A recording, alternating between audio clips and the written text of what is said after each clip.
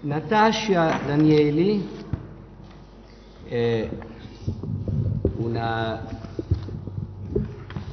eh, studiosa che si è formata a Ca' Foscari a Venezia con laurea in ebraico e ha fatto in tempo quando Ca' Foscari anche un po' prima della, della devastazione dei nuovi ordinamenti, Eh, nuovissimi, peggiori, un po' più peggio. Non darmi della vecchia, però. Sostanzialmente, quindi, insomma, eh, eh, diciamo che mh, eh, poi ha pubblicato anche diverse cose e mh, conosce benissimo l'ebraico e ha anche studiato in particolare un altro cabbalista eh, dell'area veneta, Ramchal, eh, l'acrostico Moshe Chaim Luzzatto, sul quale anche fatto, sono stati fatti due convegni che abbiamo anche raccolto tutti e due in un unico volume e che è qui presente. Ecco, e poi comunque adesso non sto a elencare tutti i meriti di Natascia che tra l'altro ha anche co- aiutato, collaborato perché non è che si trova tanta gente oggi che sa leggere le, le grafie corsive ebraiche magari dei registri eh, di Mantova o, o di Venezia e adesso lei ha collaborato, insomma anche ha fatto dei lavori per cercare di mettere un po' di ordine, capire, fare un'inventariazione anche di questi registri comunitari, tantissimi a Mantova e poi anche a Venezia e comunque continua a lavorare insomma nel campo eh, così del- degli studi ebraici e quindi siamo molto contenti di darle la parola per sentire che cosa ci racconta in relazione al convegno, eh, che, come intende appunto Ricchi, il rabbino oggi oggetto di questo convegno, eh, il concetto di creazione e autocontrazione di Dio, Tzimtzum, nella Kabbalah settecentesca, all'interno della Kabbalah settecentesca, come si colloca il caso di, del rabbino Ricchi. Bene, allora nel ringraziare tutti coloro che mi hanno invitato, il Comune di Cento e Saverio Campanini, eh, non posso non eh, dire che è, è un compito assai arduo quello che mi è stato affidato. E eh, per dirlo non posso che citare Gershom Scholem, che a tutti è ben noto che scriveva nella sua, gran- nella sua opera mh, più importante, Le grandi correnti della mistica ebraica, che l'idea dello Tzimtzum ha avuto una parte di prim'ordine nella scuola luriana, inducendo a ripetuti tentativi di una più approfondita interpretazione. Una storia di questa idea, a partire da Luria fino ai nostri giorni, rappresenterebbe una delle più affascinanti esposizioni dell'originale pensiero mistico ebraico. Non si può eh, non, ehm, non si può però non sottolineare quanto questo argomento sia vasto e di difficile trattazione, anche se si limita questa trattazione al Settecento, come vogliamo fare noi oggi. Partirò comunque per forza di cose dal Cinquecento, perché chiaramente non possiamo eh, parlare dello Zimzum senza fare una premessa a che cosa intendeva Luria per Zimzum perché da Luria si parte, tutti i cabalisti partono, in particolare quelli italiani, sia nel 600 che nel 700 per parlare chiaramente, ma anche nell'800 per parlare chiaramente dello Zimzum. La parola Zimzum si può tradurre appunto letteralmente con le parole contrazione e concentrazione. Tuttavia, la dottrina dello Zimzum abbraccia uno specchio ben più ampio di significati, dovuto all'immenso e continuo sviluppo che questa teoria ha avuto appunto nei secoli. Secondo Scholem, il più importante cabalista del Cinquecento, Luria appunto, scoprì la dottrina dello Zimzum in un piccolo trattato del XIII secolo, quindi non sarebbe un'invenzione di Luria. Ma è solo con Luria, però, che questa teoria acquisì un'importanza straordinaria. Attraverso la formulazione della sua Kabbalah, Luria ha influenzato qualsiasi pensiero cabalistico successivo e a lui contemporaneo.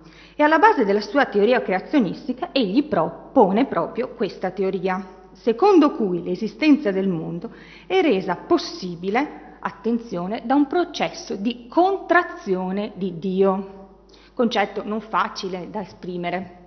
Secondo questa dottrina, infatti, lunge dall'essere un processo verso l'esterno, un uscire di Dio verso l'esterno, il primo passo della creazione è piuttosto un ritrarsi di Dio. Si tratta di un paradosso molto complesso e molto difficile da accettare sia per i contemporanei sia per coloro che a Luria seguirono. Ma è un, è un paradosso che Luria eh, elabora per rispondere a interrogativi difficili. Come può esistere il mondo quando l'essere di Dio è dappertutto? Come può Dio creare dal nulla se non può esservi un nulla, dato che il suo essere penetra ogni cosa?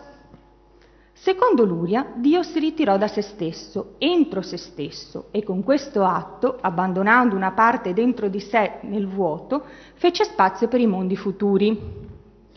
Ad un certo punto, all'interno della luce dell'Ensof, venne meno l'essenza divina o luce, ma ritirandosi tutto intorno nella profondità dell'Ensof, cioè l'infinito, Ensof è infinito, scusate, essa lasciò uno spazio vuoto al centro, in rapporto con l'Ensof infinito, questo spazio vuoto è un puntino, un puntino piccolissimo, ma in rapporto con la creazione, cioè con i mondi okay, che ne seguirono, è lo spazio cosmico. Dio può manifestare se stesso solo perché si è ritratto e ha contratto se stesso. Questo spazio primordiale, attenzione alla terminologia, perché poi la terminologia è una terminologia che ritornerà in tutti i cabalisti. La terminologia però è differente, pochissimo, cioè ogni cabalista poi eh, fa come una specie di quello che noi chiameremo un, un aggiornamento, no? un aggiornamento della parola, la arricchisce o la impoverisce o la spiega in modo diverso. Questo spazio primordiale comunque in, in Luria è chiamato Tehiru. Il Tehiru quindi era ancora pieno di tracce, quelle che vengono chiamate Reshimu della luce superna, poiché la luce divina non si poteva ritirare senza lasciare traccia della sua presenza.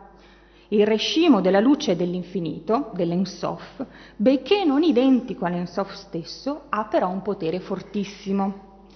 Secondo Luria si tratta di un potere santo, benché le radici delle forze del rigore, che poi avrebbero prodotto quelle che Emma ha chiamato ha giustamente chiamato e ricordato che l'ippotto, le scorie divine, fossero mescolate con la luce. Non posso assolutamente divulgarmi e di, eh, spiegarvi le, tutti gli aspetti di questa creazione e autocontrazione di Dio. Vi faccio dei brevi accenni e il mio scopo è quello di provocare la vostra curiosità la curiosità di leggere i testi. Questi testi, alcuni, è, è, chiaro che sono in ebraico e che io li ho letti in ebraico, però molti, come ha detto giustamente il professor Perani, sono stati tradotti negli anni. Il professor Busi e Saveri hanno fatto un lavoro enorme sui testi cabalistici e questi testi sono mh, tutti o, o, almeno in parte tradotti, pertanto li potete trovare. Se vi interessano, alla fine del, del mio intervento vi do le, i libri dai quali ho tratto le citazioni. E, comunque, le scuole luriane differiscono moltissimo sulla questione cruciale dell'origine del male e delle Kelippot. Chaim Vitalm, primo allievo di Luria, fece di tutto inizialmente per oscurare l'ardita concezione del suo maestro che vedeva nella formulazione della creazione un atto catartico in cui l'ensof o infinito si purificava del rigore, del din latente insito in esso, perché si rendeva conto della pericolosità della teoria. Questa dottrina fu appunto abilmente celata. Appare evidente però che tale spiegazione non esclude i paradossi, compresi, come si è appena detto, già dagli allievi di Luria stesso, anzi fa di questi ultimi punti nodali portanti dell'intera dottrina, cioè Chaim Vital si preoccupa di questi paradossi, Luria invece non se ne preoccupa per nulla, lui teorizza, scrive la sua Kabbalah e non si preoccupa di spiegarla. La, cioè, scrive, scusate, la predica, non la scrive. E, se, se, la, in modo come lui ce l'aveva, l'aveva interpretata. Coloro che vengono dopo di lui è talmente forte il pensiero di Luria che alcuni lo espongono, altri lo spiegano. Allora, che cosa succede? Primo fra tutti, l'idea che l'esilio di Dio, il suo ritrarsi, rappresenti un fondamento per la creazione del mondo è fortissima. In questo modo, infatti, il primo atto, come ho già detto, non è un atto di rivelazione, non è un atto di svelamento, bensì di occultamento e di limitazione. Solo nel secondo atto, cioè in un secondo momento, Dio, con un raggio della sua essenza, procede fuori di sé e dà inizio alla sua rivelazione, o al suo dispiegarsi come Dio emanatore. La dottrina sostiene inoltre che questo atto di contrazione non è un unico fine a se stesso, non è la creazione del mondo e basta, ma è un atto che si compie prima di ogni atto di creazione, di manifestazione ed emanazione di Dio. In questo modo la dottrina non si applica più solamente all'interpretazione della creazione, bensì diventa un processo cosmico di duplice natura, in cui ogni atto di creazione contiene in sé una tensione, una tensione tra la luce che rifluisce in Dio stesso e quella che scaturisce da Lui. È questa, questa stessa tensione a far sussistere il nostro creato. La lingua di Luria chiaramente costituisce già di per sé una questione forte, perché è una lingua immaginifica e antropomorfica e ha sollevato non pochi interrogativi, fra cui il primo e più facile, come un tal modo di esprimersi può essere compatibile con una religione monoteista? In risposta a questa domanda, sul finire del XVII secolo e nel XVIII secolo si assistette alla formulazione di due metodi ermeneutici contrapposti, coloro che appunto interpretavano la dottrina dello Zimzum alla lettera e coloro che invece la interpretavano come una metafora, un'allegoria. In Italia l'interpretazione della Kabbalah luriana nei secoli XVII e XVIII occupa un posto essenziale.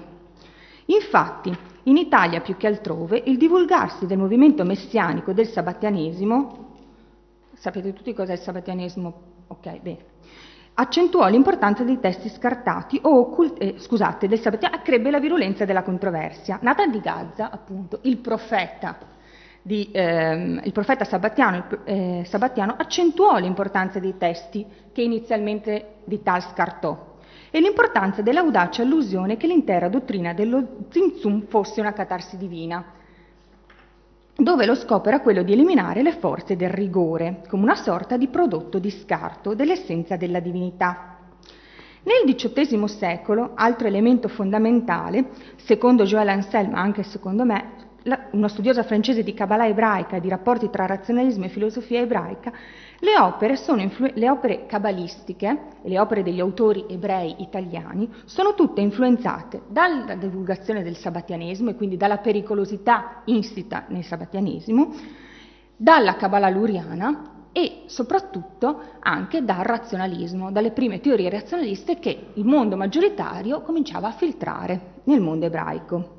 È in questo contesto che Joseph Ergas, eh, autore ebreo che nasce nel 1685 e muore nel 1730, pubblica nel 1715 a Londra due opuscoli antisabattiani, Tokachat Megulak Vehatzad Nahash, ovvero, in traduzione, aperto rimprovero, un versetto dei proverbi, perché tutte le opere in quel periodo, moltissime opere, avevano i titoli delle opere che erano costituivano dei versetti biblici, sono versetti biblici che fa, hanno la funzione di essere il titolo dell'opera, e la parte del serpente. E il nostro Immanuel, Immanuel Hairicchi pubblica, sempre ad Amsterdam, nel 1727, la sua opera Mishnat Hasidim, di cui Emma vi ha ampiamente parlato.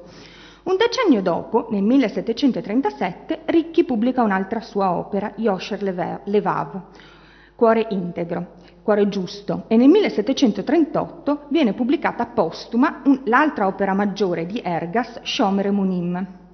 È evidente quindi che la pubblicazione di queste opere caratterizzano una fase fondamentale nei dibattiti che agitavano tutte le comunità ebraiche italiane e non solo, visto che le opere vengono pubblicate ad Amsterdam, nel XVIII secolo, vale a dire sulla divulgazione della Kabbalah luriana e sull'aspra con, controversia tra i sostenitori e gli oppositori del sabbattianesimo.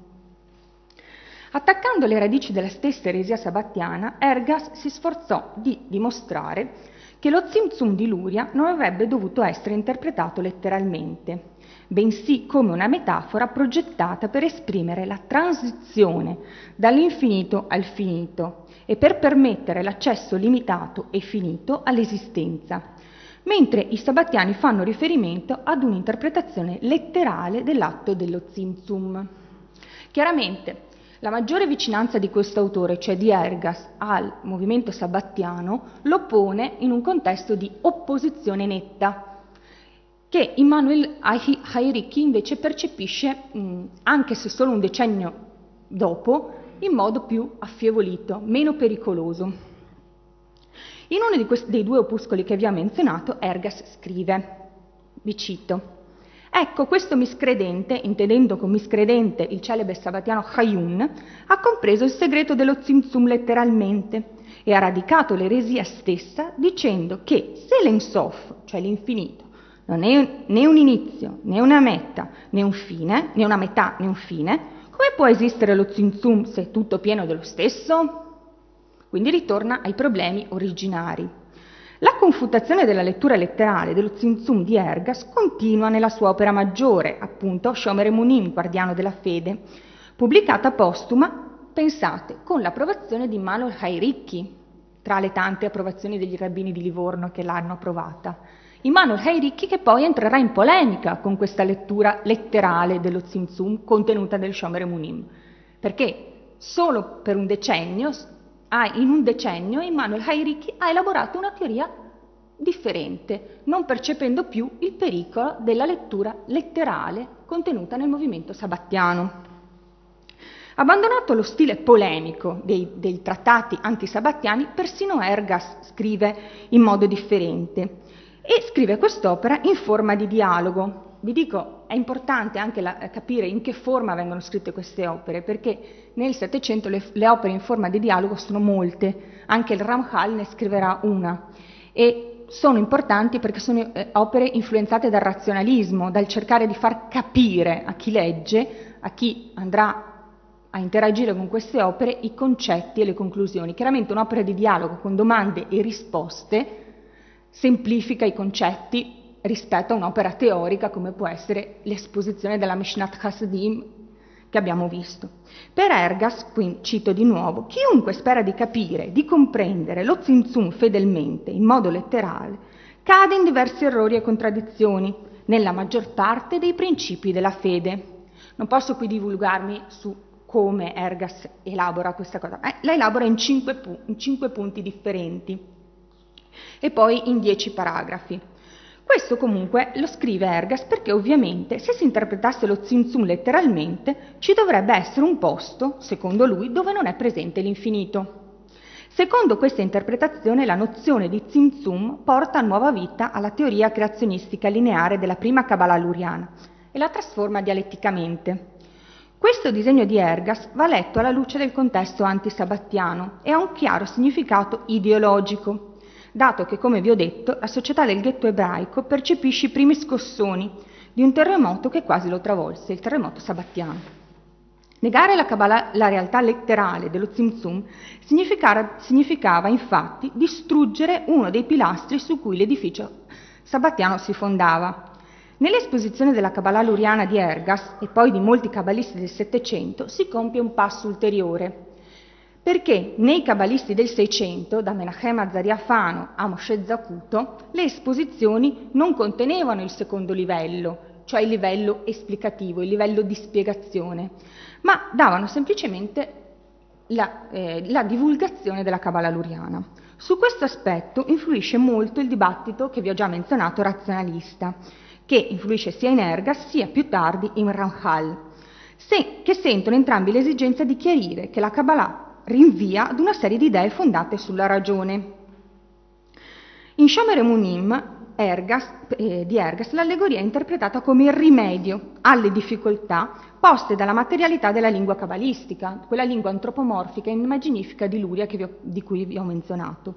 E quindi egli fa dire al suo razionalista, tutto è allegoria, mashal, tutto è immagine, dimion, tutto è segno, come diceva il rabbino delle forze superme, superne emanate da Dio, dove però queste parole sono parole intese in senso cabalistico, non intese in, o meglio, possono essere intese in entrambi i livelli, intese in senso cabalistico ma anche intese in senso più divulgativo.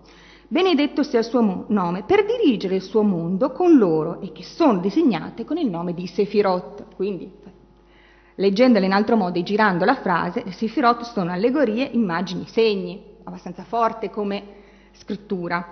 Solo un decennio più tardi, quando l'eresia sabattiana sembrava più distante, il disegno di Ergas fu criticato, come vi ho detto, da Immanuel Hairicchi, che pure aveva approvato Shomer e Munim, prima nel suo libro Mishnat Hasidim.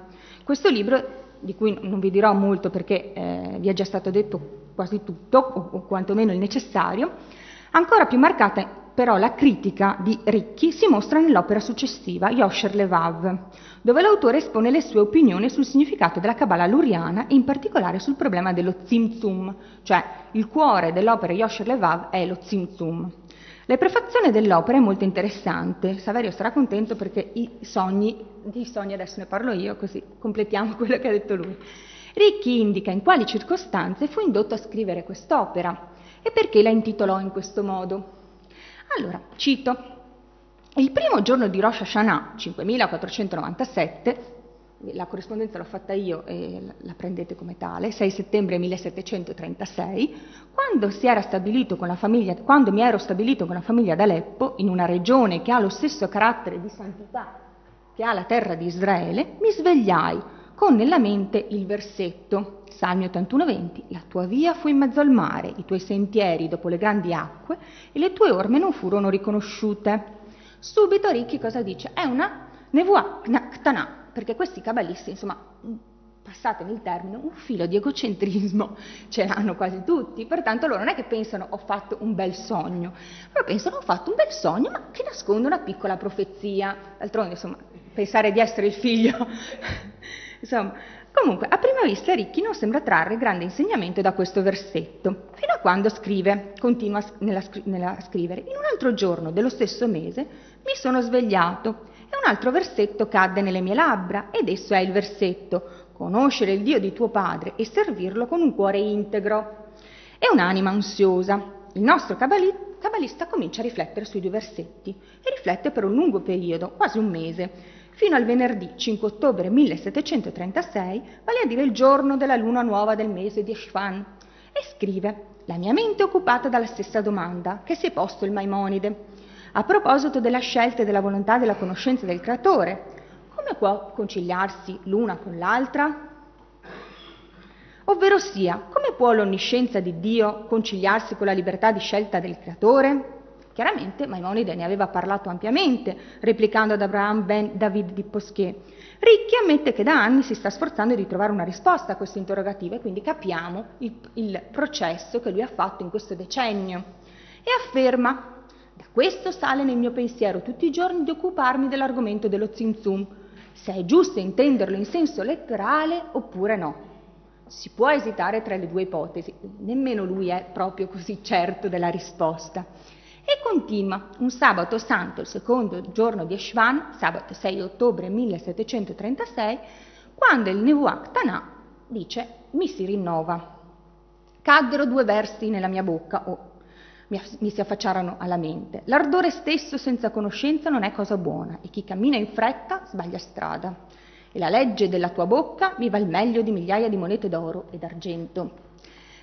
Fine della citazione. Ricchi, Ricchi ovviamente interpreta questa indicazione come la fine della piccola profezia, come un'autorizzazione, nonostante la difficoltà, chi cammina in fretta, sbaglia strada, a mettere le sue idee per iscritto. E, dato che uno dei versetti che lo aveva messo sulla strada della scrittura parlava di cuore integro, non può che chiamare, intitolare la sua opera appunto Yosher Levav, cuore giusto, cuore integro.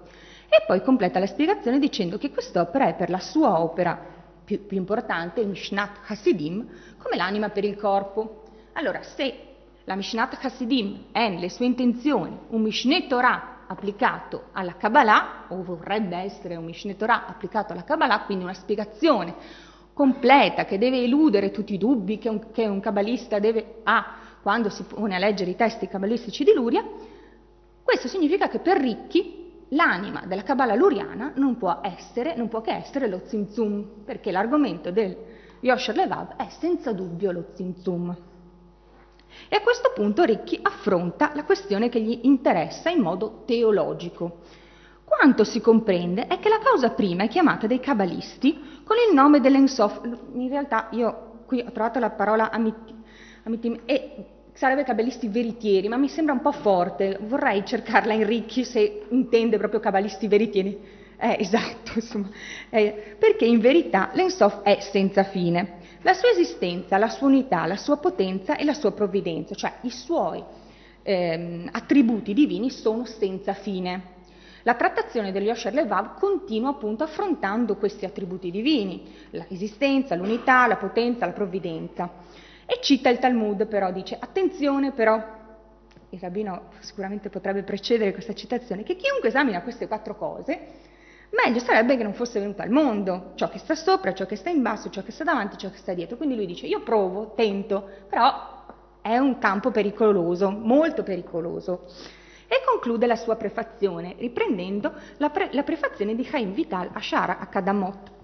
Molti mondi sono stati creati, emanati, formati e costruiti, migliaia, tutti come fossero uno, stanno nel vuoto, halal, che è stato evocato e al di fuori del quale non c'è nulla, non c'è nessuna creatura al di fuori di quel luogo.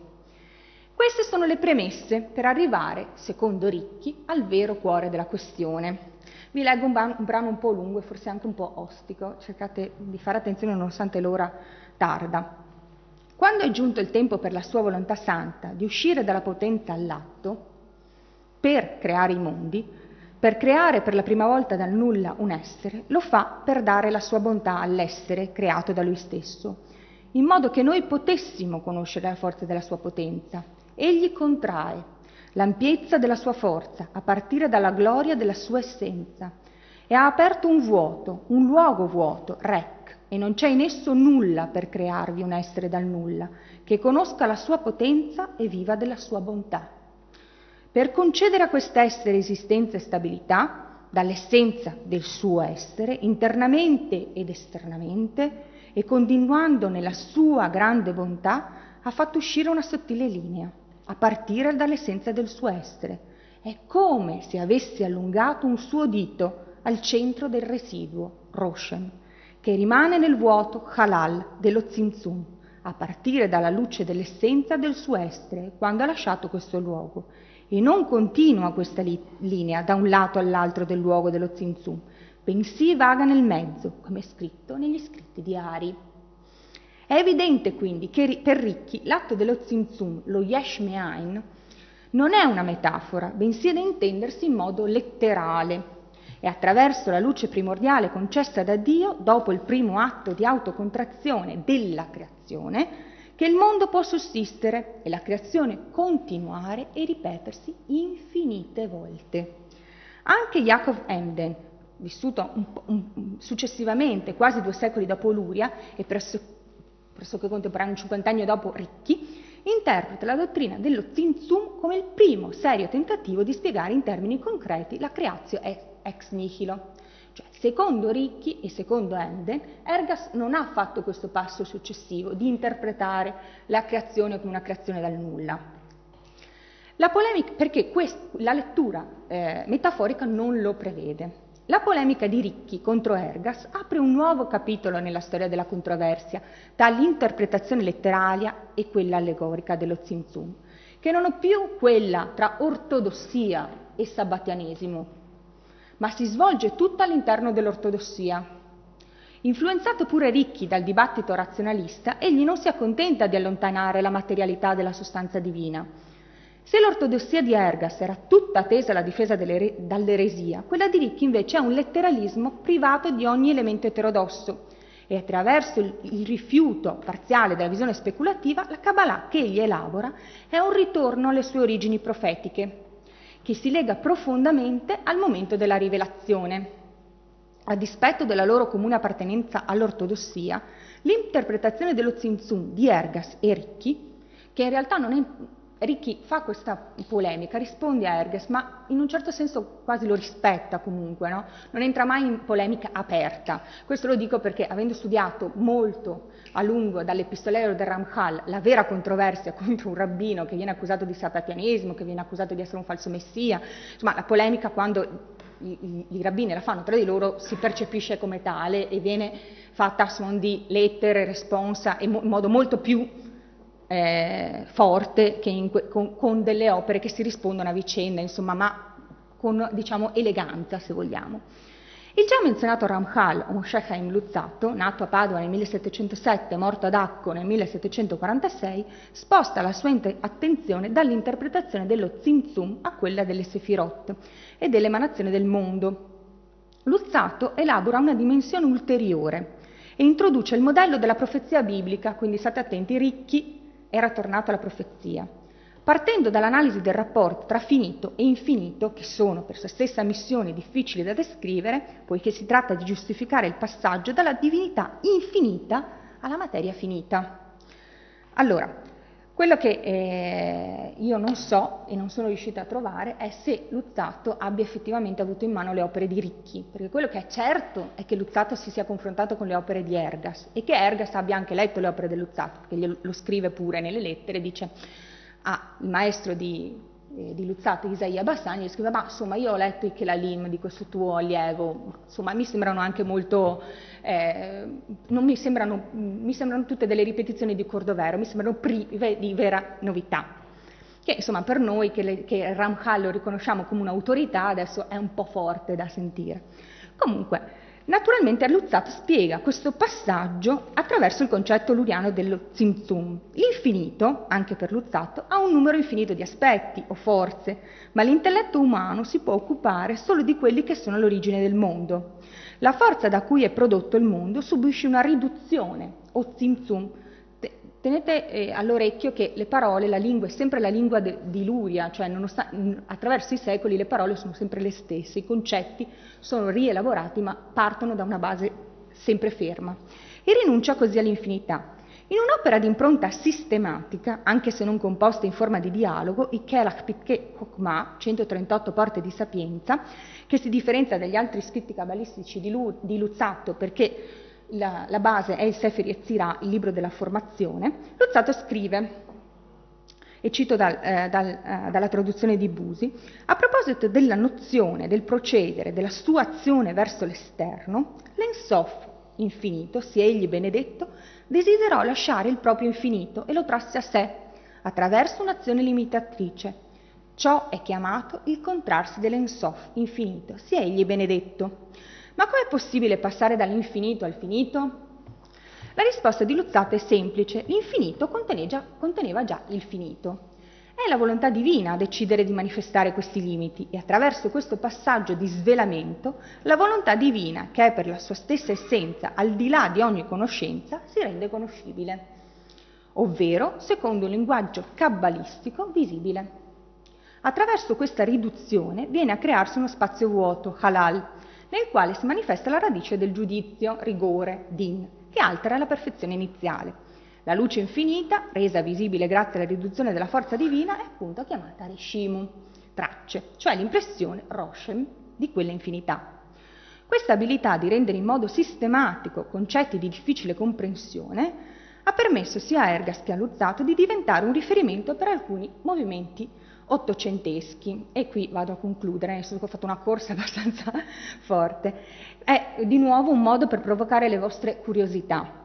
E questo è il caso del Tikkun Aklali o dello Zinzum in Nachman di Bratlav, che voi conoscerete come uno dei, dei movimenti messianici all'interno dei movimenti chassidici che riprendendo forse Luzzato, quasi sicuramente, tenta di integrare la nozione di Zinzum nella sua visione messianica radicale. Cito, questa luce emanata è detta residuo, rescimu, della luce primordiale. Il mistero di tale residuo è denominato luogo di tutti gli esseri, giacché conferisce loro l'esistenza, cosa che non faceva l'infinito. Tale luogo è vacuo, halal e privo della luce dell'ensof, giacché l'infinito non si trova in esso come all'inizio.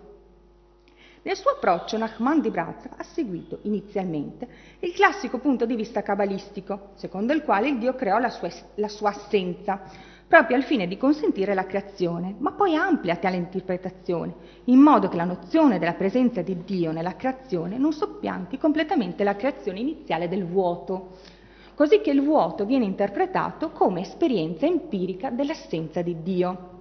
Il movimento Chabad la interpreta in modo completamente diverso, o quantomeno in, con significati diversi, perché si rifà all'antilateralismo di Ergas. Perché sia nei tratti dello Zohar sia negli scritti di Ari sia benedetta la sua memoria, quando chiamano le cose materiali, scusate, questa è una citazione di Ergas, e parlano di eventi corporei con nomi nobili.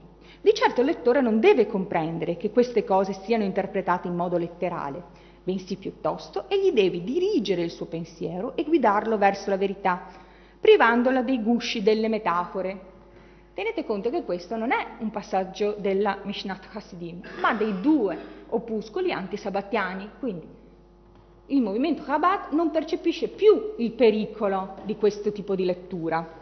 E Shnor Zalman di Liadi, nella sua nota opera Tania, afferma è del tutto impossibile interpretare la dottrina dello Tzimtzum letteralmente, perché è un fenomeno che riguarda la corporeità del santo e che, se interpretato in questo modo, comporterebbe una divisione dello stesso in miriadi separate ad infinitum. Bene, quanto eh, volevo dirvi eh, l'ho concluso. Io int- intendevo, come ho detto, suscitare la vostra curiosità, non intendo dare risposte. Luzzato chiaramente si colloca né in una lettura né in un'altra, perché i paradossi per questi cabalisti non sono così importanti da risolvere. Sono eh, delle chiavi di lettura che eh, come tali arricchiscono i pensieri successivi e quelli dei contemporanei, perché dai paradossi si vivifica la Kabbalah si eh, torna a vivere di vita nuova nel pensiero di altri. È un processo continuo. E quello che ha detto il rabbino, il rabbino stamattina a proposito di Saverio mi faceva ridere, adesso sorridere, no? perché io l'ho detto allo stesso modo dei cabalisti, no? il dire le cose in modo semplice, il esprimere i concetti in modo, in modo semplice, concetti estremamente complessi. Cioè questa lingua antropomorfica, questa lingua immaginifica, questa Kabbalah difficile da, arriva, da, da interpretare, se espressa con concetti e con parole semplici, può arrivare, può, secondo me, suscitare la curiosità sia del lettore ebreo che conosce la, la lingua ebraica, sia magari del lettore non ebreo. Il mio auspicio è che questo piccolo convegno abbia eh, suscitato il fuoco e, e, che si possa effettivamente capire se anche il nostro Immanuel Hairicchi nel suo piccolo ha influenzato i movimenti ottocenteschi, se è stato letto da Luttato, se si troveranno delle prove insomma, di questa commissione anche con il nostro modesto autore.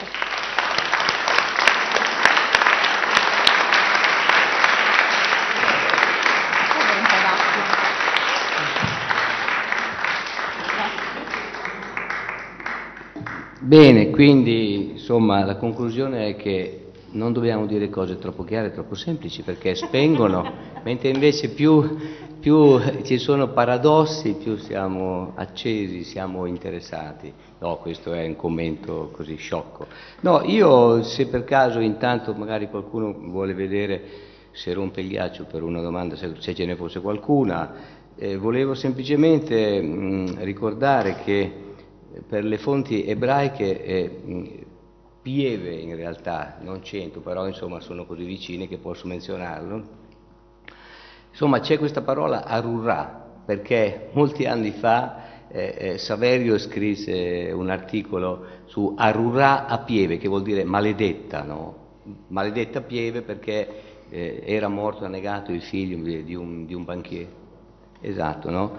E, e, questa mattina ho risentito questa parola per i due soldatacci che hanno ammazzato Ricchi no? a Rurim, no? e quindi no, questo non, non, vuol dire assolutamente nulla. Invece eh, io ho trovato, cioè, volevo semplicemente farvi presente che le pagine più complete, più aggiornate, più belle su Ricchi, penso, adesso non ho visto tanti altri studi, però come scheda iniziale c'è un repertorio in francese molto bello, com, compilato da Asher Sala nel 2007, eh, che è eh, Rabbin, écrivain et médecin juif en Italie au XVIIIe siècle, pubblicato per Brill nel, nel 2007. Ho visto che quello, le pagine che lui dedica Ricchi sono le più aggiornate, le più ricche di bibliografia, di cose così. E lì ho trovato che citava me come una fonte, dicevo ma cosa? E sono andato a vedere eh, in un mio contributo a, in, in quegli atti del convegno sugli ebrei a 100, fatto temporibus illis, copertina verde scuro, io elencavo mh, sia mh, manoscritti mh, o frammenti o copiati o che si trovavano a cento e ho visto che c'è un manoscritto copiato da Avram Rafael Sereni nel 1858, probabilmente a cento, in cui copia alcune preghiere di suffragio da recitarsi sui sepolcri di importanti rabbini, Netanel Segre, eh, Yosef Elisha Modona, ma anche Emanuel Chai Ricchi ed altri defunti tumulati nel cimitero di Cento. Ecco, quindi eh, anche questo si potrà vedere questa poesia, questa preghiera per, per cosa. Ecco, allora... Non voglio fare domande, non vi spaventate. No, volevo soltanto fare questa osservazione. Le ultime due relazioni ci hanno proiettato violentemente, direi, su, de, su delle dimensioni assolutamente eh, al di sopra di noi. Ecco, con molta violenza e suscitando molto, molto interesse. Io mi compiaccio per questi studi affrontati mh, mm, non facili, no. affrontati con, eh, con, con, grande entusiasmo. Questa è una prova di quanto vi dicevo all'inizio, che se vogliamo studiare mh, mm, in modo organico la figura dei ricchi dobbiamo dedicare molto più tempo e anche molta più riflessione. Eh, sapete che la Kabbalah, il mondo della Kabbalah è un mondo straordinariamente difficile che va affrontato con molta calma, dicono che bis- non, bis- non, va affrontato prima dei 45 anni, ora col, con l'aumento dell'età media direi andiamo, andiamo almeno a 60, perché intanto è molto difficile, poi costituisce anche un grande pericolo perché è straordinariamente affascinante e quindi può capitare che ci introduciamo in un certo argomento e ne rimaniamo affascinati e poi perdiamo il senso, il senso della realtà. Quindi direi di ridimensionare. Io ho visto che l'ha fatto anche la signorina che dopo averci... Signore, Vabbè, scusi, dove, meglio così. Grazie per l'età. sì, Il professor Perani mi invecchia sempre. Vabbè, che dopo averci proiettato in questo mondo etereo si è messo a bere, quindi sì. non ha dimenticato le sue dimensioni, le sue dimensioni fisiche. Se no mi, mi torno, comunque qualcuno ecco. me le fa ricordare. Ecco. Attenzione che c'è il marito in sala. Eh. Eh, non è colpa mia.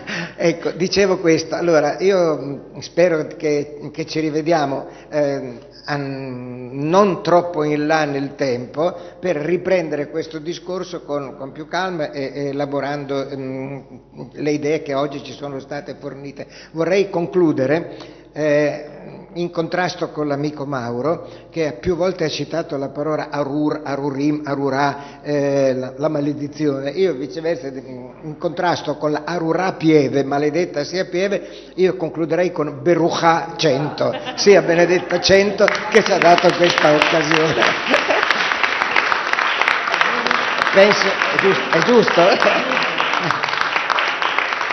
Quindi il prossimo convegno sarà sicuramente a, a, a 100 e se da Pieve arriveranno delle iniziative simili noi le respingiamo. Grazie.